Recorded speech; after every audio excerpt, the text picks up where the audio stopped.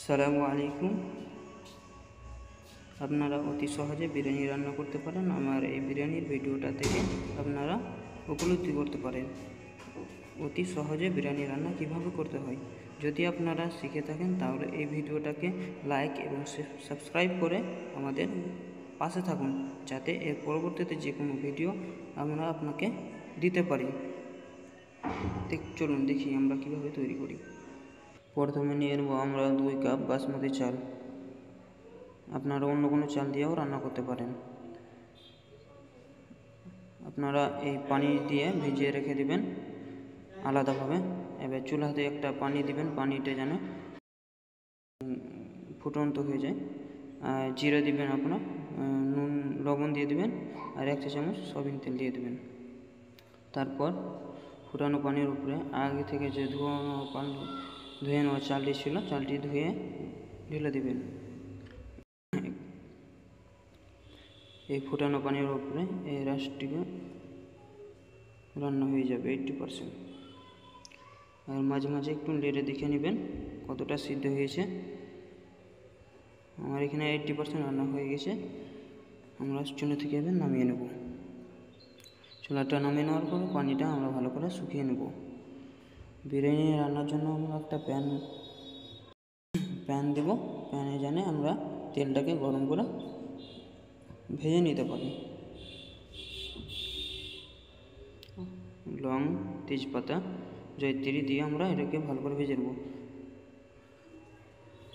তারপর পেঁয়াজ টিয়াজ দিয়ে আমরা ভালো করে নেড়ে নেব। যখন ভাজা হয়ে যাবে, তখন আপনারা এক এক কাপ মতন পেঁয়াজ বাটা দিয়ে দেবেন। দেড় চা চামচ আপনারা আদা বাটা এরপরে দিয়ে দেবেন। হাফ কাপ টক দই দিয়ে ভালো করে লেড়ে নেবেন। দেড় চা চামচ বিরিয়ানি মশলা, এক চা চামচ টমেটো সস দিয়ে দেবেন। দিয়ে ভালো করে আপনারা লাড়তে থাকবেন।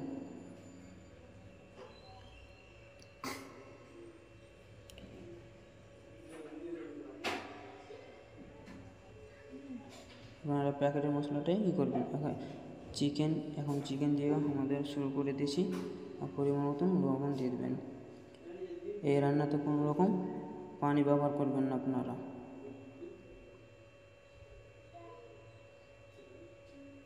চুলার আঁচটাকে একদম লো করে দেবেন আপনারা, যাতে বেশি পুড়ে না যায়।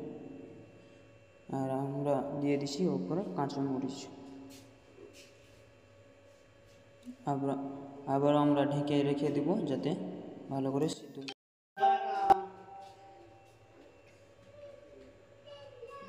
এখন আমরা বেশ কিছুক্ষণ হয়ে গেছে, এখন সিদ্ধ হয়ে গেছে। এই চিকেনটার উপরে আমরা দিয়ে দেব যে রাইসটা আমাদের সিদ্ধ করা হয়ে গেছিল, ওই রাইসটা এবার আমরা ঢেলে দেব।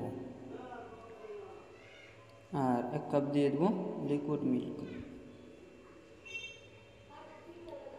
এক চা চামচ জর্দা রং দিয়ে দিচ্ছি, যাতে বিরিয়ানিতে কালারটা ভালো হয়ে যায়।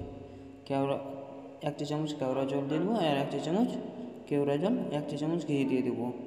ঢাকনার গায়ে তারপরে ভালো করে বন্ধ করে আবার ঢাকনার কোনো ছিদ্র যদি থাকে, তাহলে ওটাকে বন্ধ করে ফেলব যাতে কোনো রকম ভিতরে হাওয়া বাইরে না যায়। ঠিক পনেরো মিনিট পরে স্মেল এসে গেছে। তখন আপনারা খুব সহজেই রান্না করা শিখে গেলেন। তারপরে আপনারা যারা নতুন আছে তারাও এই বিরিয়ানিটা করে খেতে পারেন। কাউকে সারপ্রাইজ দিতে পারেন। আশা করি এই ভিডিওটাতে আপনাদেরকে উপকৃত করেছেন।